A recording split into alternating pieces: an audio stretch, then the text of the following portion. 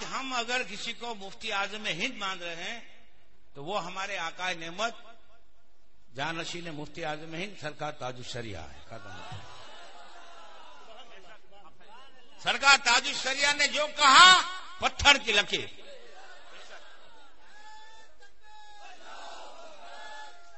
अगर ताजुशरिया इस वक्त हमें ये कह दे हम ताजुशरिया को इतना मानते हैं कि अगर ताजुशरिया अगर इस वक्त कह दें कि दिन है तो खुदा की कसम हम सूरज ढूँढने के लिए निकल जाएँगे। क्यों? कि ताजुशरिया की जबान से निकला है। और ताजुशरिया आज मसल के आला हज़रत की चलती फिरती तस्वीर है। जिनकी हर अदा से मसल के आला हज़रत तबकता है। इन जैसा मुत्तकी तो बताओ अरे ऐसा नूरानी चेहरा तो एक बता दो यार। मैं कलकत्ता में नाम देता हूँ, मजहर रब्बानी करके एक आदमी है। बहुत बड़ा दादा है। है ना?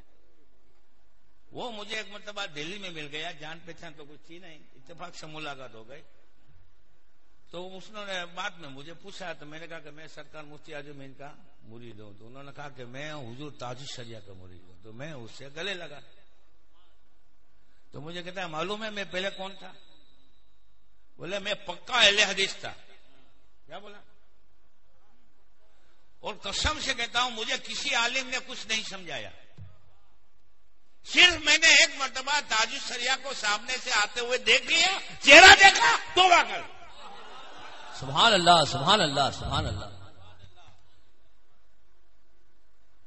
अब वो ताजु सरिया हम ताजु सरिया की इतनी इज़्ज़त क्यों करते हैं मालूम है?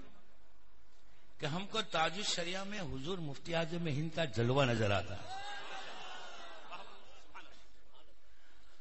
और हुजूर मुफ्ती आज़म हिंद पे हमारी जान कुर्बान। मुफ्ती आज़म हिंद मजहर आला हज़रत थे।